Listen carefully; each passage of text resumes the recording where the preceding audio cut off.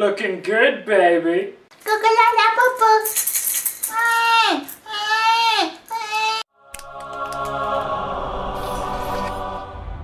You know what the sweetest part about being a robot would be? The fact that you could go down to like your local robot store and like interchange your body parts. If I could do that, I'd go down to the store and get like a freaking tail with like a hand on it. Then I could buy it its own controller and we could play video games together. You're my best friend, imaginary tail. You never complain about my armpit mold. Yeah, and then I'd like get a rhino horn on my head and just make angry faces all the time.